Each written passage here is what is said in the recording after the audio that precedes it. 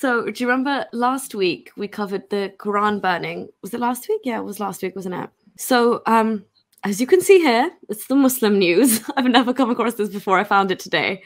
Have you heard And of this? another incident of Islamophobia. No, I didn't. Oh, well, Yeah. I'm not surprised. Yeah, So the- these are- Yeah.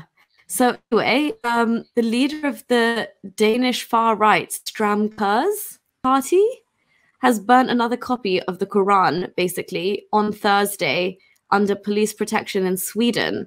So Rasmus has dual Danish and Swedish nationality, but he recently has recently burned copies of the Quran uh, in the Frol- Frolunda Boras and Trollhättan. I'm definitely butchered those names. Sorry. Um, regions of the southwestern province of Västergotland, which Västergotland, I like that name, Yeah. which are inhabited by Muslims. Around 100 police officers, as well as 10 plainclothes officers from the Swedish intelligence agency, accompanied Paludan to protect him against counter demonstrators, or as they probably want to say, unruly Muslims, right? Um, Paludan has burnt the holy book in, I guess this is his thing, has burnt the holy book in various cities in Denmark since 2017. He continued his provocations under police protection during the Muslim holy month of Ramadan this year near Muslim populated neighborhoods and mosques. Riots broke out after the burning of the Quran in April. Um, in the cities Malmo, Norrköping, and John Cope. Again, I've butchered these names, sorry, as well as in the capital, Stockholm, leaving 125 police vehicles damaged and 34 officers injured, while 13 people were detained. Um, so yeah, he's obviously look. He's going into like Muslim populated neighborhoods. That that that, that there's no, you know, no no one's arguing that fact. Like he is doing it to like garner some kind of like there is the level of incitement there, right? He's trying to he's trying to rile them up. He's trying to like he's trying to. You're, you're muted. I- I'll just quickly say, um, yes, he's he's doing that. We know his intent, but he's not doing anything wrong.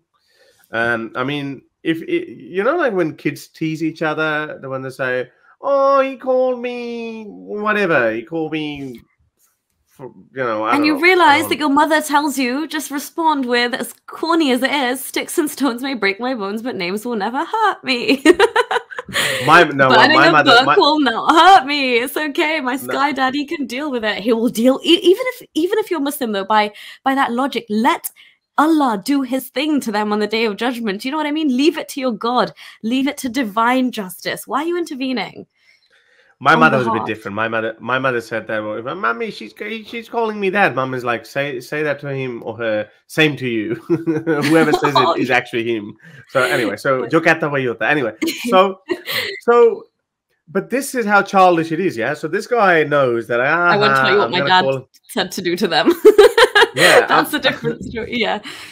I'm gonna do this. I'm gonna I'm gonna say whatever, and you're you're gonna lose your humanity. You're gonna become an idiot. You're gonna become a wild animal. So let's just go and do it. Okay, that's prov- provocation. But we can't condemn that because if you can't behave like an adult, like for example, Muhammad Hijab, that was a quirky comeback. He said, "Well, the more you do it, as many copies of the Quran or as many events of Quran burning you you have, we're going to raise more funds and we're going to build a mosque because we know that's going to piss you off. That okay, that's clever. Okay, all right.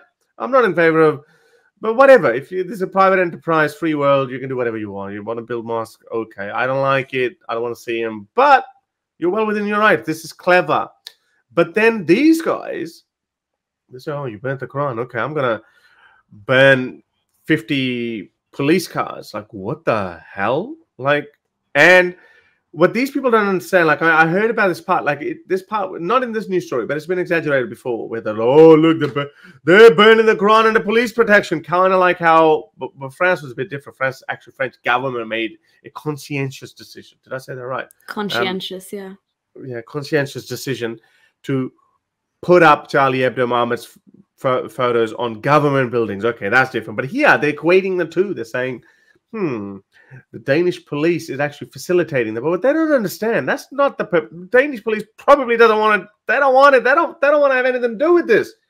But they're defending the principle. The principle is, sorry, you can't.